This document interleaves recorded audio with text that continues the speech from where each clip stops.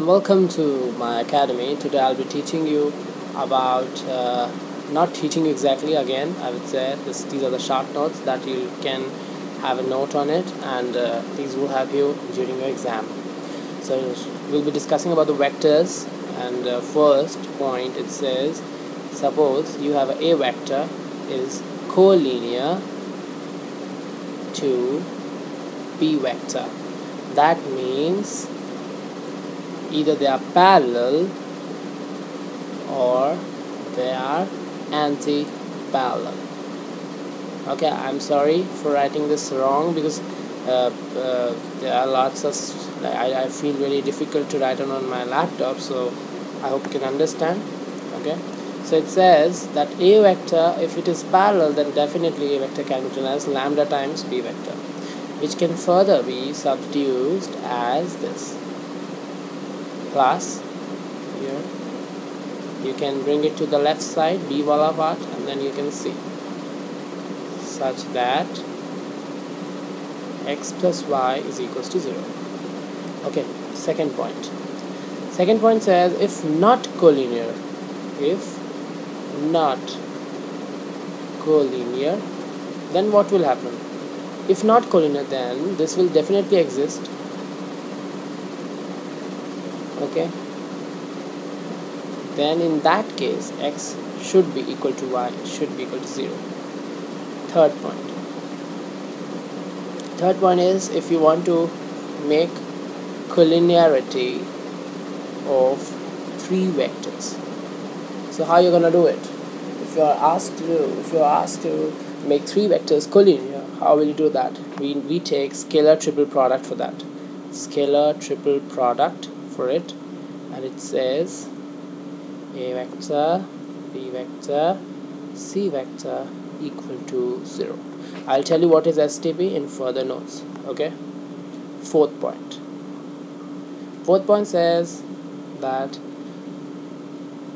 um, uh, linearly dependent then if all three vectors all the three I would say A B C are linearly linearly dependent. This is another category. These things you will find in your exam papers. So in that case standard triple product is equal to again 0 and what is standard triple product of ABC it is a vector the first vector cross product with the second vector and the whole result is taken as a dot product with the third vector. This is the order that you follow. Fifth point.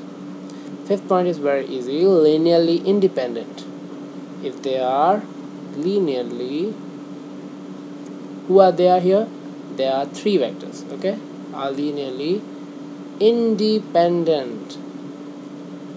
Independent okay? Independent then standard triple product is never equal to zero. This is most important point that students don't know. Okay? Now I'll be moving to sixth point. Sixth point what is if when you write a b vector what does that mean? That means position vector vector of b point minus position vector of a point.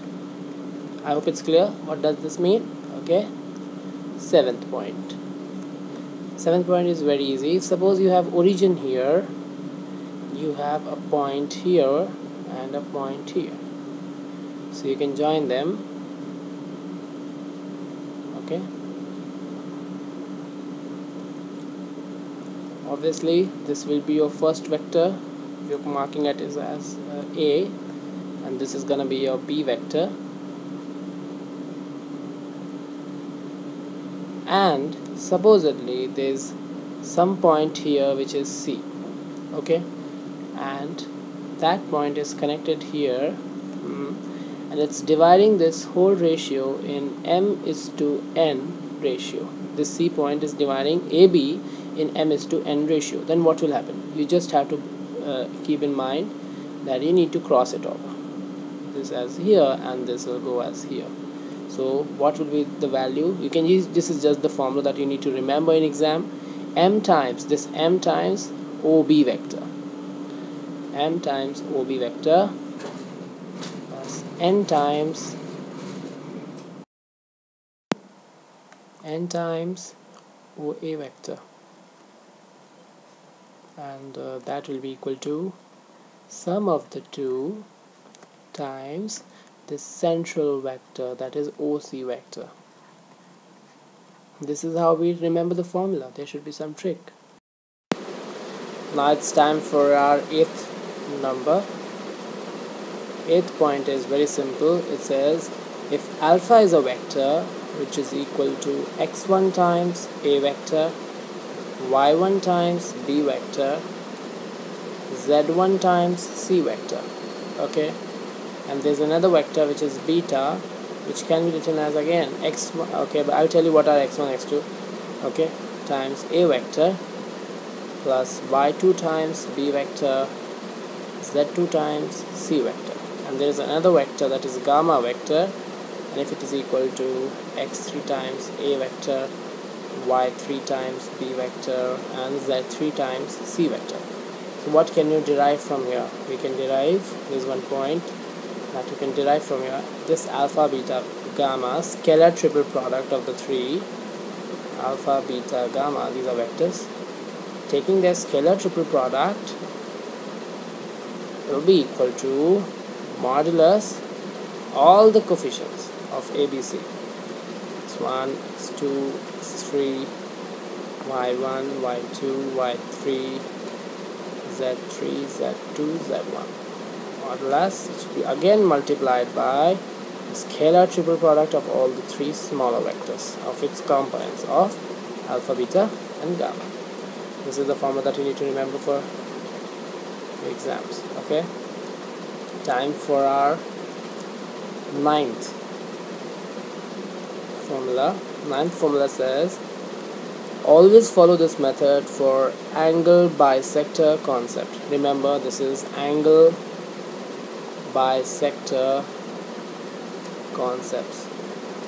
This you should remember for angle bisector concept. Okay what does this mean? Suppose you have a vector you have another b vector. Remember these are not perpendicular just I'm showing it like this and the result there is another vector which is c vector. It's not the resultant okay? Let's see with the angle bisector of a and b vector okay? C is the angle c is the angle bisector of a vector and b vector and remember it is internal bisector. What is internal external? It is dividing the acute angle between a and b vectors. This side not the x not the this angle okay? We'll, con uh, we'll consider only acute angle not the obtuse angle okay? Then c vector is equal to lambda times a unit vector b times plus b unit vector is equal to lambda times what is what is the definition of unit vector? It is vector upon its modulus. Vector upon its modulus. Okay. So you can derive it from here that c vector is equal to lambda times k1 i cap k2 j cap k3 k cap divided by k. This is this you'll find on solving above. Okay so we reached till here then you've got another thing that is c modulus if you take it you get plus minus of lambda by k. If you are taking modulus of it then it will be k1 square k2 square and k3 squares taken all together so you get this. Okay this was the ninth point. Let's come to 10th okay what is 10th point? Let's see. 10th point says again it's based on angle bisector okay? We're considering here if c vector is angle bisector then follow this method okay? Hmm. it says if there is a vector a vector b vector another vector that is c vector okay? Joining all of them together you'll find. Let's mark these points first.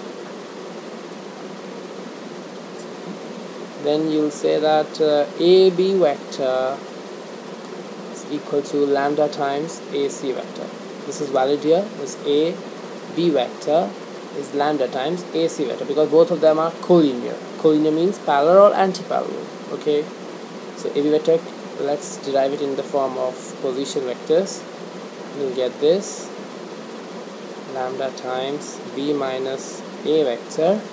This is uh, this is what I've done is I've just termed it out as in uh, position vector form. Okay. This is what you can use in your exams. Okay. Next. Next point is on projections. Okay. The formula is projection of any vector a on another vector b vector is equal to that vector whose projection is being taken on this unit vector of the other vector. This is just the formula that you need to remember. It will be equal to this vector vector upon b vector mod. Okay? Hmm. and if I'll ask you projection vector of a vector on b vector in another form then how will you write that? Now this was the projection. This was just the magnitude. Okay? Now you asked to write projection vector okay of a vector on b vector. Now they're asking about the direction.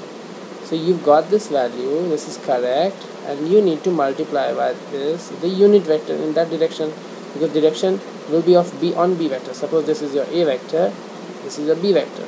You want a vector's position uh, projection on a. So let's take the projection will come this side okay so this is just multiplication with b unit vector okay? So you'll find it as a vector dot b vector whole divided by b vector mod square okay? B uh, below it is b vector mod square into your b vector. Okay this is what you'll find. This is b vector okay at the bottom. Okay now the last point uh, of this video and for other points you'll have to see my next video okay? So it says let's take an example okay? It says uh, if you have uh, r vector dot of a unit vector is 2 where they've given that r vector is lambda times i cap comma sorry for this comma a unit vector is 2 i cap. Okay this is unit vector symbol. Then what will be the value of 2 lambda? How will you calculate that? Okay so let's multiply r into a unit vector. You'll get lambda into 2 so will you make it as 2 no this is not done. When you are multiplying two vectors or taking the dot product you'll have to take mod here. Take take modulus always. This is must point. So this is end of this video. Please watch my another video and subscribe to my channel. Thanks for watching